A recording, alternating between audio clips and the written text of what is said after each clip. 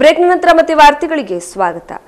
ದಾಂಡೇಲಿಯ ನ್ಯಾಯವಾದಿ ಅಜಿತ್ ನಾಯ್ಕ್ ಅವರ ಹತ್ಯೆ ತನಿಖೆಯನ್ನ ಪೊಲೀಸರು ಚುರುಕುಗೊಳಿಸಿದ್ದು, ಈ ಪ್ರಕರಣಕ್ಕೆ ಸಂಬಂಧಿಸಿದ ಇಂಚಿಂಚು ಮಾಹಿತಿಯನ್ನು ಸಂಗ್ರಹಿಸುತ್ತಿದ್ದಾರೆ. ಗುರುವಾರ ಸಂಜೆ ತನಿಖಾಧಿಕಾರಿ ಸಿಪಿಐ ಅನಿಸ್ ಮುಜಾವರ್ ನೇತೃತ್ವದ ತಂಡ ಹತ್ಯೆ ಮಾಡಿದ ಪ್ರಮುಖ ಆರೋಪಿ ಪಾಂಡುರಂಗ ಅಲಿಯಾಸ್ ದೀಪಕ್ ಕಾಂಬ್ಳೆಯನ್ನ ಮತ್ತಷ್ಟು ವಿಚಾರಣೆಗೆ ಒಳಪಡಿಸಿದಾಗ ಇನ್ನಷ್ಟು ಮಾಹಿತಿಗಳು ಲಭಿಸಿವೆ. ಆತ ಹತ್ಯೆಯ ವೇಳೆ ಧರಿಸಿದ ಉಡುಪುಗಳನ್ನು ವಶಪಡಿಸಿಕೊಳ್ಳಲು ಕರೆದೊಯ್ದಾಗ ಆರೋಪಿ ದಾಂಡೇಲಿಯ ಟೌನ್ಶಿಪ್ ಗಣಪತಿ ಗುಡಿಯ ಹತ್ತಿರವಿರುವ ದಲಿತ ಸಂಘಟನೆಯ ನೇತಾರ ವಿನಾಯಕ್ ಕರ್ನಿಂಗ್ನ ಮನೆಯನ್ನ ಪಂಚರ ಸಮ್ಮುಖದಲ್ಲಿ ತೋರಿಸಿದ್ದಾನೆ. ಕರ್ನಿಂಗ್ ಮನೆಗೆ ಬಂದು ಹತ್ಯೆಯ ಸಂದರ್ಭದಲ್ಲಿ ತಾನು ಧರಿಸಿದ ಉಡುಪುಗಳನ್ನ ಬಿಚ್ಚಿಟ್ಟು ವಿನಾಯಕನ ಹೆಂಡತಿಯಿಂದ ಪಡೆದ ಬಟ್ಟೆಗಳನ್ನ ಧರಿಸಿ ಯಲ್ಲಾಪುರದತ್ತ ಹೋಗಿರುವುದಾಗಿ ಒಪ್ಪಿಕೊಂಡಿದ್ದಾನೆ ಎನ್ನಲಾಗಿದೆ. ಈ ಕುರಿತು ವಿನಾಯಕನ ಹೆಂಡತಿಯನ್ನ ಪೊಲೀಸರು ಪ್ರಶ್ನಿಸಿದ್ದು, ಅವಳಿಂದ ಹೇಳಿಕೆ ಪಡೆದ ನಂತರ ಅವಳು ಆರೋಪಿ ಹತ್ಯೆಯ ಸಂದರ್ಭದಲ್ಲಿ ಧರಿಸಿದ್ದ ಬಟ್ಟೆಗಳನ್ನ ತೋರಿಸಿದ್ದಾಳೆ. ಪೊಲೀಸರು ಅವುಗಳನ್ನ ಪಂಚರ ಸಮ್ಮುಖದಲ್ಲಿ ಜಪ್ತ್ ಮಾಡಿದ್ದಾರೆ. ಅಲ್ಲಿಂದ ಆರೋಪಿಯನ್ನ ಯಲ್ಲಾಪುರಕ್ಕೆ ಕರೆದುಕೊಂಡು ಹೋಗಿದ್ದು, ಆರೋಪಿ ಕಾಳಮ್ಮ ನಗರದ ಬೊಮ್ಮನಹಳ್ಳಿ ಎನ್ನುವವರಿಗೆ ಸೇರಿದ ಆಶ್ರಯ ಮನೆಯೊಂದರಲ್ಲಿ ಅಡಗಿದ್ದು, ಅಲ್ಲಿ ವಿನಾಯಕ್ ಕಾರ್ನಿಂಗ್ನ ಮನೆಯಲ್ಲಿ ಧರಿಸಿ ಬಂದ ಬಟ್ಟೆಗಳನ್ನ ಬಿಚ್ಚಿಟ್ಟಿರೋದನ್ನ ತೋರಿಸಿದ್ದಾನೆ. ಪೊಲೀಸರು ಈ ಉಡುಪುಗಳನ್ನು ಜಪ್ತ್ ಮಾಡಿ ವಶಕ್ಕೆ ಪಡೆದಿದ್ದಾರೆ. ಹತ್ಯೆ ಮಾಡಿದ ಆರೋಪಿ ದಲಿತ ಮುಖಂಡ ವಿನಾಯಕ್ ಕರ್ನಿಂಗ್ನ ಮನೆಗೆ ಹೋಗಿ ಹತ್ಯೆಗೆ ಬಳಸಿದ ಬಟ್ಟೆಯನ್ನ ಅಲ್ಲಿಟ್ಟು ಬೇರೆ ಬಟ್ಟೆ ಧರಿಸಿ ಹೋಗಿರುವ ಈ ಎಲ್ಲಾ ಅಂಶಗಳು ಈ ಕೊಲೆಯ ಹಿಂದೆ ವಿನಾಯಕ್ ಕರ್ನಿಂಗ್ನ ಕೈವಾಡವಿದೆಯೇ ಕೊಲೆಗಾರನೊಟ್ಟಿಗೆ ಇನ್ನಷ್ಟು ಆರೋಪಿಗಳು ಶಾಮೀಲಾಗಿದ್ದಾರೆಯೇ ಎನ್ನುವುದು ಪೊಲೀಸರ ವಿಚಾರಣೆಯಿಂದ ಸ್ಪಷ್ಟಗೊಳ್ಳಬೇಕಿದೆ.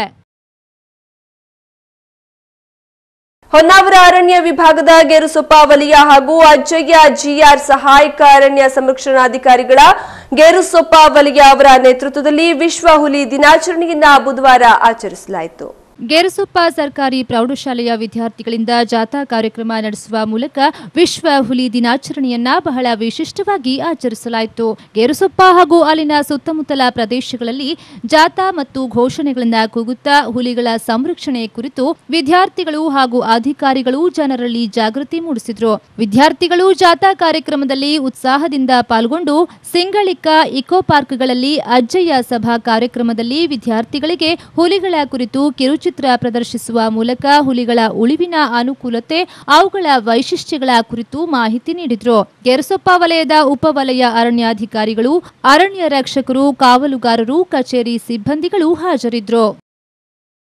ಮಾವನೊಬ್ಬನಿಂದ ಅತ್ಯಾಚಾರಕ್ಕೊಳಗಾಗಿ ಮನನೊಂದ ವಿವಾಹಿತೆಯೊಬ್ಬರು ಅಂಕೋಲಾ ತಾಲೂಕಿನ ಹಿಲ್ಲೂರು ಗ್ರಾಮದ ಸಮೀಪದ ಅರಣ್ಯದಲ್ಲಿ ಆತ್ಮಹತ್ಯೆ ಮಾಡಿಕೊಂಡಿದ್ದಾರೆ. ಹಿಲ್ಲೂರು ಗ್ರಾಮದ ಇಪ್ಪತ್ತು ವರ್ಷದ ವಿವಾಹಿತೆ ಅತ್ಯಾಚಾರಕ್ಕೊಳಗಾದವಳು. ಮನೆಯಲ್ಲಿ ಯಾರೂ ಇಲ್ಲದ ವೇಳೆ ಪತಿಯ ತಂದೆ, ಅರ್ಥಾತ್ ಮಾವ ಬ್ರಹ್ಮ ಹರಿಕಂತ್ರ ಈಕೆಯ ಮೇಲೆ ಅತ್ಯಾಚಾರ ನಡೆಸಿದ್ದ. ಇದರಿಂದಾಗಿ ಮನನೊಂದ ವಿವಾಹಿತೆ ಆತ್ಮಹತ್ಯೆ ಮಾಡಿಕೊಂಡಿದ್ದಾರೆ. ಪ್ರಕರಣದ ಆರೋಪಿಯನ್ನ ಅಂಕೋಲಾ ಪೊಲೀಸರು ಉಡುಪಿ ಸಮೀಪದ ಮಲ್ಪೆಯಲ್ಲಿ ಬಂಧಿಸಿದ್ದಾರೆ. ಆಕೆ ವರ್ಷದ ಹಿಂದೆ ಕುಮಟಾ ತಾಲೂಕಿನ ಹಿರೇಗುತ್ತಿ ಸಮೀಪದ ನವಗ್ರಹ ಗ್ರಾಮದ ಯುವಕನೊಂದಿಗೆ ಪ್ರೇಮ ವಿವಾಹವಾಗಿದ್ರು. ಬಳಿಕ ರಿಜಿಸ್ಟರ್ ಮ್ಯಾರೇಜ್ ಮಾಡಿಕೊಂಡಿದ್ರು. ಮೀನುಗಾರಿಕೆ ನಡೆಸಲು ಪತಿಯು ಬೋಟಿಗೆ ಹೊರ ಹೋಗ್ತಿದ್ದ ಸಂದರ್ಭಗಳಲ್ಲಿ ಮಾವ ವಿವಾಹಿತೆಯ ಜೊತೆ ಮನೆಯಲ್ಲಿದ್ದು ಅಸಭ್ಯವಾಗಿ ವರ್ತಿಸುತ್ತಿದ್ದ ಎನ್ನಲಾಗಿದೆ. ಈ ಕುರಿತು ಅಂಕೋಲಾ ಪೊಲೀಸ್ ಠಾಣೆಯಲ್ಲಿ ಪ್ರಕರಣ ದಾಖಲಾಗಿದೆ. ಓದು ಮನುಷ್ಯನ ವ್ಯಕ್ತಿತ್ವಕ್ಕೆ ನಿರ್ದಿಷ್ಟ ದೃಷ್ಟಿಕೋನ ನೀಡುವ ಜೊತೆಗೆ ಸುಸಂಸ್ಕೃತ ಹಾಗೂ ಸಭ್ಯ ನಾಗರಿಕ ಸಮಾಜ ರೂಪಿಸಲು ನೆರವಾಗುತ್ತದೆ ಎಂದು ಇತಿಹಾಸ ಪ್ರಾಧ್ಯಾಪಕ ಪ್ರೊಫೆಸರ್ ಜಿಎಸ್ ಹೆಗಡೆ ಅಭಿಪ್ರಾಯಪಟ್ಟರು. ಹೊನ್ನಾವರ ತಾಲೂಕಿನ ಸ್ಥಿತಿಗಾರದ ಸರ್ಕಾರಿ ಹಿರಿಯ ಪ್ರಾಥಮಿಕ ಶಾಲೆಯಲ್ಲಿ ಎಸ್ಡಿಎಂ ಕಾಲೇಜಿನ ಎನ್ಎಸ್ಎಸ್ ಘಟಕ, ಕನ್ನಡ ಸಾಹಿತ್ಯ ಪರಿಷತ್ ಘಟಕ ಹಾಗೂ ಹೊನ್ನಾವರ ತಾಲೂಕಾ ಪತ್ರಕರ್ತರ ಸಂಘ ಇವರ ಸಂಯುಕ್ತ ಆಶ್ರಯದಲ್ಲಿ ನಡೆದ ಓದುವ ದಿನಾಚರಣೆ ಕಾರ್ಯಕ್ರಮ ಉದ್ಘಾಟಿಸಿ ಅವರು ಮಾತನಾಡಿದರು. ಬರವಣಿಗೆ ಹಾಗೂ ಓದಿನ ಆವಿಷ್ಕಾರದಿಂದ ಜಗತ್ತು ಪ್ರಗತಿ ಹೊಂದಲು ಸಾಧ್ಯವಾಯಿತು ಎಂದರು. ಗ್ರಾಮ ಪಂಚಾಯತ್ ಸದಸ್ಯೆ ಶಶಿಕಲಾ ಆಚಾರಿ ಮಾತನಾಡಿ ಜ್ಞಾನಕ್ಕಿಂತ ಮಿಗಿಲಾದ ಸಂಗತಿ ಬದುಕಿನಲ್ಲಿ ಬೇರೊಂದಿಲ್ಲ. ಓದು ನಿತ್ಯದ ಕಾಯಕವಾಗಬೇಕು. ಬಾಲ್ಯದಲ್ಲಿ ಓದಿನ ಆಸಕ್ತಿ ಮೂಡಿಸುವಲ್ಲಿ ಶಾಲೆಗಳ ಪಾತ್ರ ಮಹತ್ವದಾಗಿದ್ದು ಹಳ್ಳಿಯ ಶಾಲೆಗಳಲ್ಲಿ ವಿದ್ಯಾರ್ಥಿಗಳ ಸಂಖ್ಯೆ ಹೆಚ್ಚುವಂತಾಗಲು ಸರ್ಕಾರಿ ಶಾಲೆಗಳ ಶಿಕ್ಷಕರು ತಮ್ಮ ಮಕ್ಕಳನ್ನ ಸರ್ಕಾರಿ ಶಾಲೆಗಳಿಗೆ ಸೇರಿಸುವ ಮೂಲಕ ಇತರರಿಗೆ ಮಾದರಿಯಾಗಬೇಕು ಎಂದರು. ಇಂಗ್ಲಿಷ್ ಪ್ರಾಧ್ಯಾಪಕ ಪ್ರೊಫೆಸರ್ ಎಂಜಿ ಹೆಗಡೆ ಮಾತನಾಡಿ, ನಿಖರ ಮಾಹಿತಿ ನೀಡುವ ಜನತೆಗೆ ವಿವಿಧ ವಿಷಯಗಳ ಕುರಿತಾದ ಜ್ಞಾನವನ್ನ ದಿನನಿತ್ಯ ಕಡಿಮೆ ದರದಲ್ಲಿ ಪುಸ್ತಿಕೆಗಳ ರೂಪದಲ್ಲಿ ನೀಡುತ್ತಿರುವ ಪತ್ರಿಕೆಗಳು ಸಮಾಜವನ್ನ ರೂಪಿಸುವಲ್ಲಿ ಬಹಳ ಬಹಳಷ್ಟು ಕೊಡುಗೆ ನೀಡಿವೆ ಎಂದು ಶ್ಲಾಘಿಸಿದರು. ಕನ್ನಡ ಪ್ರಾಧ್ಯಾಪಕ ಪ್ರೊಫೆಸರ್ ನಾಗರಾಜ್ ಹೆಗಡೆ ಅಪಗಾಲ್ ಮಾತನಾಡಿ, ಸಾಮಾಜಿಕ ಜಾಲತಾಣಗಳಿಂದ ಅರ್ಧಂಬರ್ಧ ವಿಷಯ ಜ್ಞಾನ ಉಂಟಾಗುತ್ತದೆ. ಉತ್ತಮ ಸಾಹಿತ್ಯ ಪುಸ್ತಕಗಳ ಓದು ಜೀವನದ ಪ್ರೀತಿಯನ್ನ ಹೆಚ್ಚಿಸುತ್ತದೆ ಎಂದರು. ಪ್ರೊಫೆಸರ್ ಪ್ರಶಾಂತ್ ಹೆಗಡೆ ಮೂಡಲ್ಮನೆ, ಎಸ್ಡಿಎಂಸಿ ಅಧ್ಯಕ್ಷ ಕೃಷ್ಣ ಆಚಾರಿ, ಎಸ್ಡಿಎಂಸಿ ಸದಸ್ಯೆ ಮಮತಾ ಹೆಗಡೆ ನಿವೃತ್ತ ಉಪನ್ಯಾಸಕ ಎಲ್ವಿ ಭಟ್ ಉಪಸ್ಥಿತರಿದ್ದರು. ಕಾರವಾರ ಕಡವಾಡ್ ಮೂಲದ ವ್ಯಕ್ತಿಯೊಬ್ಬರು ಪ್ರತ್ಯೇಕವಾದಿಗಳ ಅಟ್ಟಹಾಸಕ್ಕೆ ಬಲಿಯಾಗಿದ್ದಾರೆ. ಕಡವಾಡದ ಪ್ಯಾಟ್ಸನ್ ರೋಡ್ರಿಕಿಸ್ ಹಾಗೂ ಮಲೇಷ್ಯಾದ ಒಬ್ಬರು ಹಾಗೂ ಮ್ಯಾಸಿಡೋನಿಯಾದ ಒಬ್ಬರನ್ನ ಉಗ್ರರು ಹತ್ಯೆ ಮಾಡಿದ್ದು, ಈ ಮೂವರು ಕಾಬೂಲಿನಲ್ಲಿರುವ ಸ್ಯಾಡೆಕ್ಸೋ ಎಂಬ ವಿಶ್ವದ ಎರಡನೆಯ ಅತಿದೊಡ್ಡ ಅಂತಾರಾಷ್ಟ್ರೀಯ ಫುಡ್ ಹಾಗೂ ಕ್ಯಾಟರಿಂಗ್ ಸರ್ವಿಸ್ ಕಂಪನಿಯಲ್ಲಿ ಬಾಣಸಿಗರಾಗಿದ್ರು. ಗುರುವಾರ ಬೆಳಗ್ಗೆ ಪ್ಯಾಟ್ಸನ್ ತಾನು ಕೆಲಸಕ್ಕೆ ತೆರಳುವ ಮುನ್ನ ಮನೆಗೆ ಕರೆ ಮಾಡಿ ಹೆಂಡತಿಯೊಂದಿಗೆ ಮಾತನಾಡಿದ. ಬಳಿಕ ತಮ್ಮ ಕೆಲಸದ ನಿಮಿತ್ತ ವಾಹನದಲ್ಲಿ ಉಳಿದ ಇಬ್ಬರೊಂದಿಗೆ ತೆರಳುತ್ತಿದ್ದಾಗ ಉಗ್ರರು ಅವರನ್ನ ಕಾರಿನ ಸಮೇತ ಅಪಹರಿಸಿ, ಬಳಿಕ ಕಾರಿನಲ್ಲಿಯೇ ಈ ಮೂವರನ್ನ ಗುಂಡಿಕ್ಕಿ ಕೊಂದಿದ್ದಾರೆ. ಅವರ ದೇಹಗಳು ಕಾರಿನೊಳಗೆ ಪತ್ತೆಯಾಗಿವೆ. ಘಟನೆ ನಡೆದ ಸ್ಥಳದಲ್ಲಿ ಸಿಕ್ಕಿರುವ ಗುರುತಿನ ಚೀಟಿಯಿಂದಾಗಿ ಈ ಮೂವರನ್ನ ಗುರುತಿಸಲಾಗಿದೆ ಎಂದು ಅಫ್ಘಾನ್ ಭದ್ರತಾ ಅಧಿಕಾರಿಗಳು ಪ್ಯಾಟ್ಸನ್ ಮನೆಗೆ ಕರೆ ಮಾಡಿ ಆತನ ತಂದೆಗೆ ತಿಳಿಸಿದ್ದಾರೆ. ಹತ್ಯೆಯನ್ನ ಖಂಡಿಸಿರುವ ಭಾರತೀಯ ವಿದೇಶಾಂಗ ಸಚಿವಾಲಯದ ವಕ್ತಾರ ರವೀಶ್ ಕುಮಾರ್ ಕಾಬೂಲಿನ ಭಾರತದ ರಾಯಭಾರಿ ಕಚೇರಿಯೊಂದಿಗೆ ನಿರಂತರ ಸಂಪರ್ಕದಲ್ಲಿದ್ದು ಮಾಹಿತಿ ಪಡೆಯಲಾಗುತ್ತಿದೆ ಎಂದು ಟ್ವೀಟ್ ಮಾಡಿದ್ದಾರೆ. ಕಾಬೂಲಿನಲ್ಲಿ ಅಪಹರಣಕ್ಕೆ ಗುರಿಯಾಗಿ ಹತನಾಗಿರುವ ಭಾರತೀಯ ವ್ಯಕ್ತಿಯ ಕಳೆಬರವನ್ನು ಭಾರತಕ್ಕೆ ಮರಳಿಸುವ ನಿಟ್ಟಿನಲ್ಲಿ ಅಫ್ಘಾನ್ ಅಧಿಕಾರಿಗಳೊಂದಿಗೆ ಸಹಕರಿಸುವಂತೆ ಕೇಂದ್ರ ಸರ್ಕಾರ ಕಾಬೂಲ್ನಲ್ಲಿರುವ ಭಾರತೀಯ ದೂತಾವಾಸಕ್ಕೆ ನಿರ್ದೇಶನ ನೀಡಿದೆ.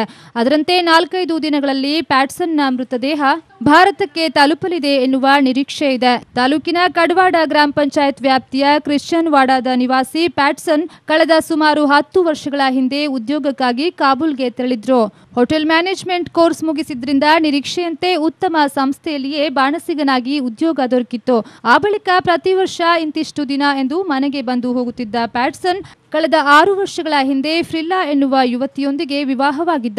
ಈ ನಡುವೆ ಅಫ್ಘಾನಿಸ್ತಾನದಲ್ಲಿ ನಡೆಯುತ್ತಿರುವ ಪ್ರತ್ಯೇಕತಾವಾದಿಗಳ ಉಪಟಳದಿಂದಾಗಿ ಅನೇಕರು ತಮ್ಮ ಕೆಲಸ ಬಿಟ್ಟು ಭಾರತಕ್ಕೆ ಮರಳಿದ್ದರಾದರೂ ಪ್ಯಾಟ್ಸನ್ ಮಾತ್ರ ಇನ್ನೂ ಕೆಲವು ವರ್ಷ ದುಡಿದು ಬರೋದಾಗಿ ನಿರ್ಣಯ ಕೈಗೊಂಡಿದ್ರು. ಈ ನಿರ್ಧಾರವೇ ಅವರ ಜೀವಕ್ಕೆ ಕುತ್ತು ತಂದಿದೆ. ಪ್ಯಾಟ್ಸನ್ ತಮ್ಮ ಕರ್ತವ್ಯಕ್ಕೆ ತೆರಳುವ ಮುನ್ನ ಹಾಗೂ ರಾತ್ರಿ ಕೆಲಸದಿಂದ ಮರಳಿದ ನಂತರ ಮನೆಗೆ ಕರೆ ಮಾಡಿ ಪತ್ನಿಯೊಂದಿಗೆ ಮಾತನಾಡುತ್ತಿದ್ರು. ಅದರಂತೆ ಗುರುವಾರ ಬೆಳಿಗ್ಗೆ ಸುಮಾರು ಒಂಬತ್ತು ಮೂವತ್ತಕ್ಕೆ ಕರೆ ಮಾಡಿ ಮಾತನಾಡಿದ್ರು. ನಂತರ ಕಾಬೂಲ್ನಿಂದ ಬಂದ ಕರೆ ಅವರ ಸಾವಿನ ಸುದ್ದಿ ತಂದ ಕರೆಯಾಗಿತ್ತು. ಕಳೆದ ಮೇ ಹದಿನೈದರಂದು ಕಡವಾಡಕ್ಕೆ ಆಗಮಿಸಿದ್ದ ಪ್ಯಾಟ್ಸನ್ ತಮ್ಮ ಆರನೆಯ ವಿವಾಹ ವಾರ್ಷಿಕೋತ್ಸವದಲ್ಲಿ ಪಾಲ್ಗೊಂಡಿದ್ರು. ಮೇ ಇಪ್ಪತ್ತೇಳರಂದು ನಡೆದ ವಿವಾಹ ವಾರ್ಷಿಕೋತ್ಸವವನ್ನ ಕುಟುಂಬ ಸದಸ್ಯರು ಹಾಗೂ ಸ್ನೇಹಿತರೊಂದಿಗೆ ಆಚರಿಸಿಕೊಂಡು ಕೆಲವು ದಿನ ಇಲ್ಲಿಯೇ ಇದ್ದು ಖುಷಿಯಾಗಿಯೇ ಜೂನ್ ಇಪ್ಪತ್ತೆರಡರಂದು ಕಾಬೂಲ್ಗೆ ಮರಳಿದ್ರು. ಕುಟುಂಬದ ಜೀವನಾಧಾರ ಸ್ತಂಭವಾಗಿದ್ದ ಪ್ಯಾಟ್ಸನ್ ಕಾಬೂಲಿಗೆ ತೆರಳುವ ಮುನ್ನ ಕಾರವಾರದ ಅಂಗಡಿಯೊಂದರಲ್ಲಿ ಮೋಟರ್ ವೈಂಡಿಂಗ್ ಕೆಲಸ ಮಾಡ್ತಿದ್ರು. ಆದರೆ ಕುಟುಂಬ ನಿರ್ವಹಣೆ ಸಾಧ್ಯವಾಗದ ಹಿನ್ನೆಲೆಯಲ್ಲಿ ವಿದೇಶಕ್ಕೆ ತೆರಳುವ ನಿರ್ಣಯ ಕೈಗೊಂಡಿದ್ರು.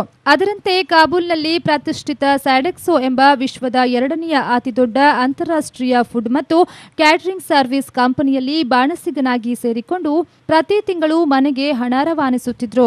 ಈ ನಡುವೆ ಕುಟುಂಬ ಸದಸ್ಯರು ಹರ್ಷದಿಂದ ಇದ್ದಾಗ ಉಗ್ರರ ಬಂದೂಕಿನ ಗುಂಡು ಕುಟುಂಬದ ಆಧಾರವನ್ನೇ ಕಸಿದುಕೊಂಡಿದೆಯಷ್ಟೇ ಅಲ್ಲದೆ ಇಡೀ ಕುಟುಂಬ ಸದಸ್ಯರ ಸಂತೋಷವನ್ನೇ ನುಚ್ಚು ನೂರು ಮಾಡಿದೆ.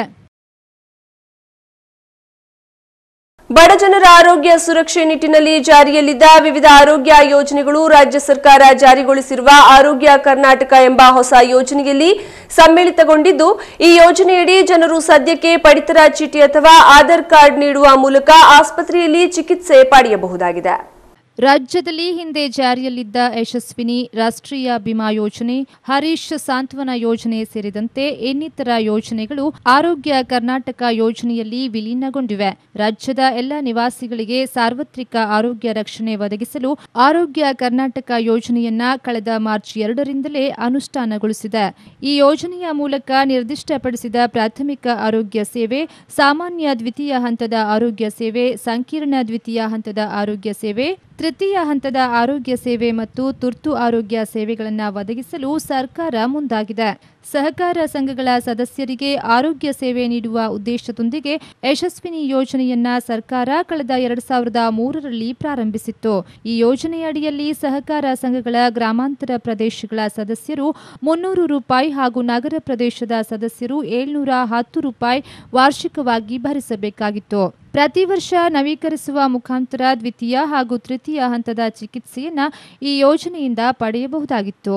ಒಂದೇ ಸೂರಿನಡಿಯಲ್ಲಿ ಪ್ರಾಥಮಿಕ ಹಂತ, ದ್ವಿತೀಯ ಹಂತ, ತೃತೀಯ ಹಂತ ಹಾಗೂ ತುರ್ತು ಚಿಕಿತ್ಸೆ ಒದಗಿಸಲು ರಾಜ್ಯದಲ್ಲಿ ಪ್ರಸಕ್ತ ಅನುಷ್ಠಾನದಲ್ಲಿದ್ದ ಯಶಸ್ವಿನಿ ವಾಜಪೇಯಿ ಆರೋಗ್ಯ, ರಾಜೀವ್ ಆರೋಗ್ಯ ಭಾಗ್ಯ ಯೋಜನೆ, ಆರ್ಎಸ್ಬಿಐ ಯೋಜನೆ, ರಾಷ್ಟ್ರೀಯ ಬಾಲ ಸ್ವಾಸ್ಥ್ಯ ಯೋಜನೆ, ಮುಖ್ಯಮಂತ್ರಿ ಸಾಂತ್ವನ ಹರೀಶ್ ಯೋಜನೆ ಮತ್ತು ಇಂದಿರಾ ಸುರಕ್ಷಾ ಯೋಜನೆಗಳನ್ನು ಸಮಗ್ರವಾಗಿ ಆರೋಗ್ಯ ಕರ್ನಾಟಕದಲ್ಲಿ ವಿಲೀನಗೊಳಿಸಲಾಗಿದೆ. ಸರ್ಕಾರದ ಈ ಯೋಜನೆಯ ಸೇವೆಯನ್ನ ಸಾರ್ವಜನಿಕ ಆರೋಗ್ಯ ಸಂಸ್ಥೆಗಳಲ್ಲಿ ಎಲ್ಲರೂ ಉಚಿತವಾಗಿ ಅಥವಾ ಅತ್ಯಲ್ಪ ಸೇವಾ ಶುಲ್ಕ ಭರಿಸಿ ಪಡೆಯಬಹುದಾಗಿದೆ.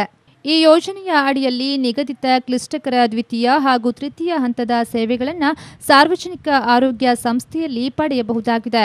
ಯೋಜನೆಯ ಸೌಲಭ್ಯಗಳು ಸಾರ್ವಜನಿಕ ಆರೋಗ್ಯ ಸಂಸ್ಥೆಯಲ್ಲಿ ಲಭ್ಯವಿಲ್ಲದ ಪಕ್ಷದಲ್ಲಿ ಆಸ್ಪತ್ರೆಯ ಶಿಫಾರಸ್ಸಿನ ಮುಖಾಂತರ ನೋಂದಾಯಿತ ಖಾಸಗಿ ಆಸ್ಪತ್ರೆಯಲ್ಲಿ ಚಿಕಿತ್ಸೆ ಪಡೆಯಲು ಅವಕಾಶವಿದೆ. ಐದು ಸದಸ್ಯರವರೆಗೆ ಇರುವ ಒಂದು ಕುಟುಂಬಕ್ಕೆ ನಿರ್ದಿಷ್ಟ ಸಂಕೀರ್ಣ ದ್ವಿತೀಯ ಹಂತದ ಆರೋಗ್ಯ ಚಿಕಿತ್ಸೆಗಾಗಿ ಒಂದು ವರ್ಷಕ್ಕೆ ಮೂವತ್ತು ಸಾವಿರ ರೂಪಾಯಿ ಚಿಕಿತ್ಸಾ ವೆಚ್ಚವನ್ನ ಸರ್ಕಾರ ಭರಿಸಲಿದೆ. ನಿರ್ದಿಷ್ಟ ತೃತೀಯ ಹಂತದ ಆರೋಗ್ಯ ಚಿಕಿತ್ಸೆಗೆ ಒಂದು ವರ್ಷಕ್ಕೆ ಅರ್ಹತಾ ಕುಟುಂಬಕ್ಕೆ ಒಂದೂವರೆ ಲಕ್ಷ ರೂಪಾಯಿಗಳ ನೆರವನ್ನ ಪಡೆಯಬಹುದಾಗಿದೆ. ಈ ಮಿತಿಯು ಪೂರ್ಣವಾಗಿ ಉಪಯೋಗವಾದ ಮೇಲೆ ತೃತೀಯ ಹಂತದ ತುರ್ತು ಚಿಕಿತ್ಸಾ ಸಂದರ್ಭ ಬಂದಲ್ಲಿ ಹೆಚ್ಚಿನ ಐವತ್ತು ಸಾವಿರ ರೂಪಾಯಿ ಆರ್ಥಿಕ ನೆರವನ್ನ ಕೂಡ ಪಡೆಯಬಹುದಾಗಿದೆ.